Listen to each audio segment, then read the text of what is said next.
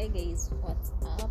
Is doing. So there's yet another disturbing video on Twitter and it's labeled BDH Dijon Lyna Twitter video. And it's going viral. It has really attracted a lot of attention and mixed reactions from people on Twitter and Reddit.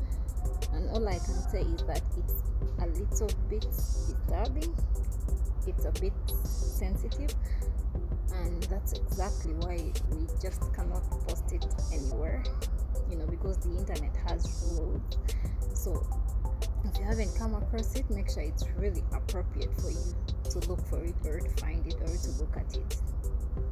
Okay